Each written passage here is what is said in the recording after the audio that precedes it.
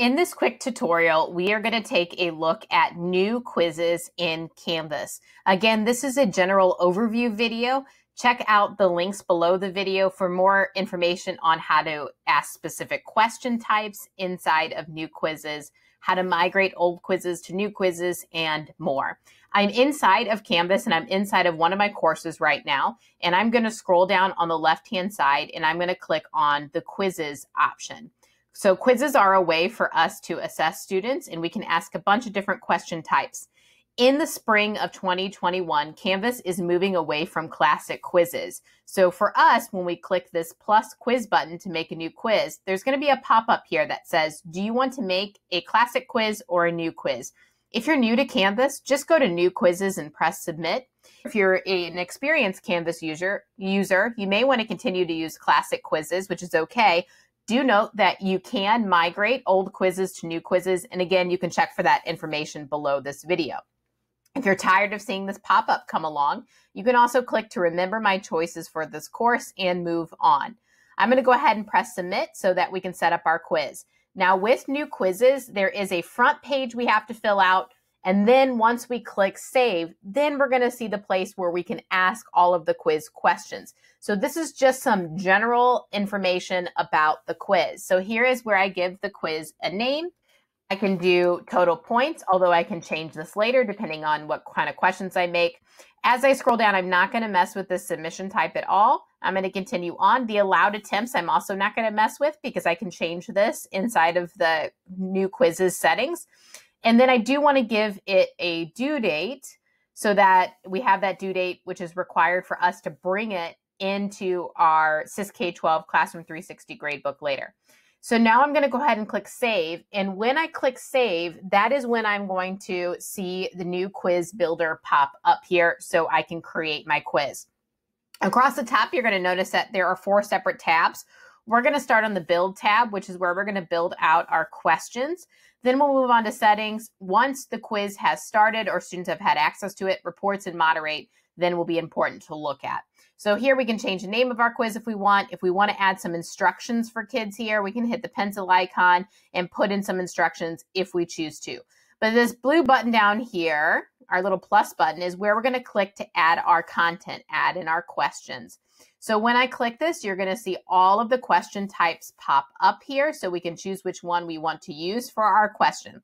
Again, below this video uh, in the description, you're going to see a link to the help section for new quizzes. This is a great place to check out the help guides for each particular question type. So we're just going to pick a simple multiple choice question type here. And depending on which question type you select, there's going to be different things that you'll have to fill in. Question title is not necessary. This is just if you want some kind of way to differentiate between the questions, you can do that. Um, but our question stem is where we're going to ask our question here. Notice too, as I'm typing out, I do have a rich content editor here. So if I want to add in links or pictures, um, I can do that. So I can have a picture up here with the question. So if I needed to include a graph or some kind of visual, I can also have pictures with the different um, possible possible responses. So then if I just want two options, I can go over here and use my little trash can to delete possible question options. Um, I use the radial button here because it's just one answer to choose which one's correct. I can go in here and add more answers, um, vary points by answer if I want. How many points just overall is it worth? I can change that there we're not getting again into the depths of everything you can do with this. You'll do, will notice that there is a um, item bank. So if you want to add questions that you make to an item bank so that you can later pull them into quizzes, you can do that as well. And you might have noticed the item bank buttons also up at the top there. For feedback, okay, with this particular question type, I have feedback that I can leave per possible answer or I can click down here on this other little icon and add in feedback depending on if students get, got the correct answer, incorrect, or just overall feedback as I want. Then when I'm ready to add in my next question, I'm going to click my plus button here and I'm going to keep adding in my questions. So there are different question types, many auto grade, ones like essays do not auto grade. So I can go in here and leave an essay question as well. With the essay question, and again, check out those resources in this video because every single question type has some different features with it or different things you can do. So with what this one, I could show a word count. I could set a word limit to it so they can't write too much. I can have spell checking in it. Um, kind of cool. I can put grading notes in here for me. So as I'm grading it, I can have some notes just pop up, you know, things that I'm checking for if I want. Again, I can add it to a question bank. Here's where I can leave feedback to students if I want overall feedback. So I continue to build these out. So as I finish questions, I'm just pressing done here. So as I'm building this out, I'm just pressing done here. And then this is kind of saving the questions for me. Now across the left-hand side too, I can jump from question to question. So as they get longer, it can bring me to those questions to edit them or look at them. Um, so there is a little button at the top above how many points and that'll actually bring out a little bit more. So this is where if I had the question title, I could see that there and I can rearrange these as I want. The preview button is going to let me see what the quiz looks like for students. So it puts it in a student view. I can also take the quiz here from my sample student view and then submit it to kind of check out what the feedback's going to look like uh, for students and it will do some auto grading. And again, this just depends on how I have the quiz set up with the settings, which we're going to look at next. So I'm going to go ahead and leave the preview now.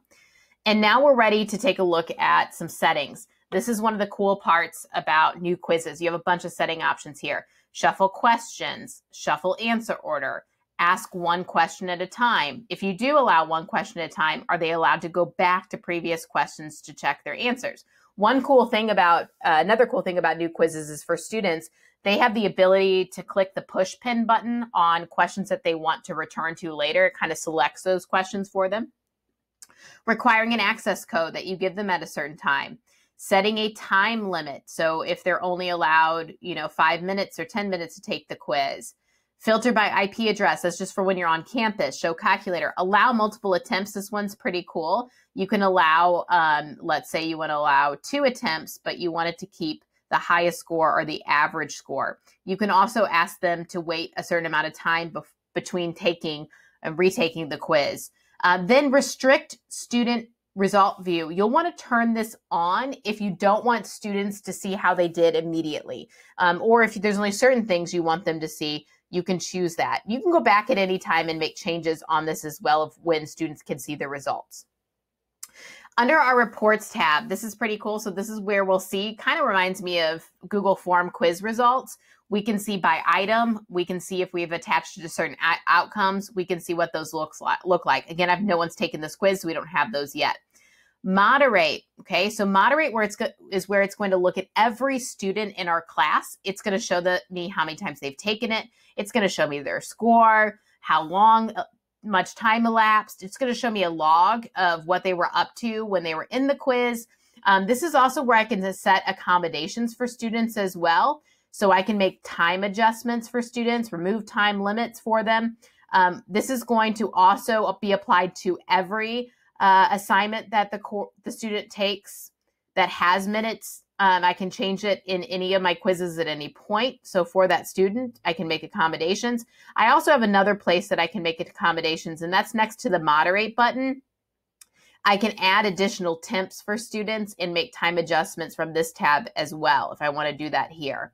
So accommodations mean, meaning that it's going to apply to all of the assignments in my class. But as I'm moderating, this is also where I can go in and give certain students uh, extra attempts and extra time. So all that's built in there. So again, we looked at how to build new quizzes. Old quizzes called classic quizzes are going away in spring of 2021.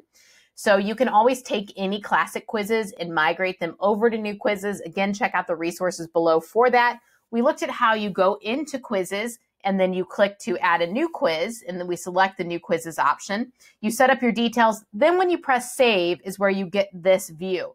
Now I can leave this view by clicking return and that's just going to bring me then to my quizzes tab where I can see the quiz I made. Once it's made here, I can publish it. I can then go to my module and add it to the module as well. So again, this was an overview of how to use new quizzes in Canvas.